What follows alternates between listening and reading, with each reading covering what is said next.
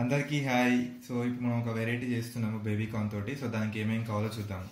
Baby corn tomato వెల్లిపాయ ginger garlic paste కారం పసుపు ధనియా పౌడర్ ఉప్పు Italian seasoning tomato ketchup lemon juice vinegar soya sauce cornflour and సన్నగా దొరుకున్న onion capsicum carrot green chilli and ginger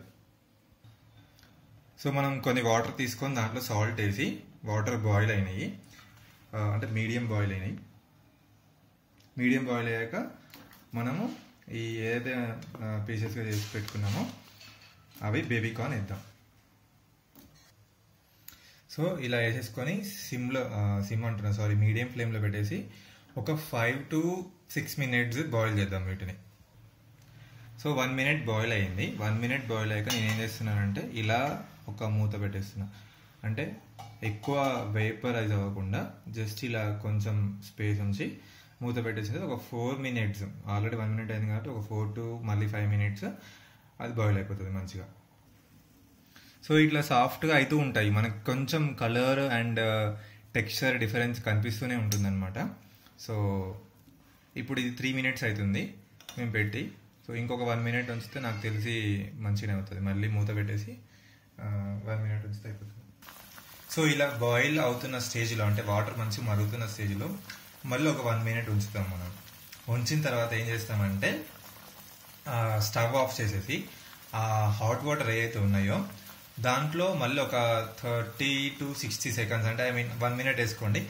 one minute ఉంచాక మొత్తం water drain out చేయాలి. మన చిల్లుల గిన్నె ఉంటుంది కదా? ఇట్లాంటి చిన్నుల గిన్నె ఒకటి తీసేసుకొని మనం మొత్తం వాటర్ డ్రైన్ అవుట్ చేయాలి.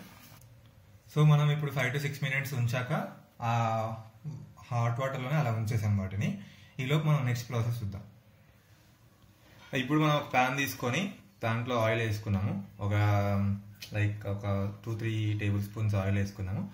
ఆయిల్ హీట్ అయ్యాక గార్లిక్ వేసుకున్నాము. సో గార్లిక్ వేసుకున్నాము.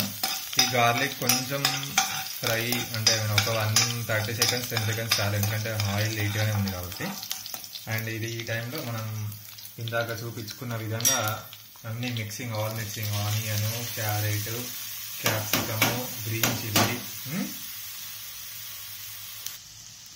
so అన్నీ వేసుకున్నాం కదా ఇప్పుడు?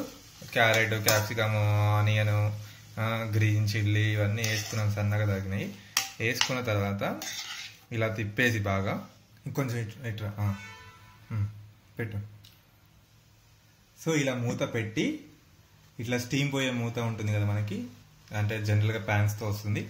ఆ మూత పెట్టేసి మంట మీడియం ఫ్లేమ్లో పెట్టి మధ్య మధ్యలో అంటే ఎవరీ టూ మినిట్స్ ఒకసారి తిప్పుతూ అది పచ్చివాసన పోయేదాకా ఉడికిద్దాం. Hmm. సో ఈ టైంలో మనం అది ఆల్రెడీ ఒక టూ మినిట్స్ అయింది. So ginger garlic paste and tomato chop tomato వేసేసి మంచిగా కలిపి అండ్ మొత్తం మిక్స్ చేసిన తర్వాత ఈ పసుపు ఉప్పు కారము ధనియాల పౌడర్ ఏవైతే ఉన్నాయో ఆల్ మిక్స్ వేసేసుకొని మంచిగా అండ్ సో ఇప్పుడు అది మనము మొత్తం బాయిల్ అయిందనమాట సో సో మనం అది బాయిల్ అయ్యాక దీంట్లో already vinegar and soya sauce వేసుకున్నాము. వేసుకొని ఒకసారి మొత్తం మిక్స్ చేసుకొని ఇందాక చూసాం కదా ఇటాలియన్ సీజనింగ్ తీసుకున్నాము.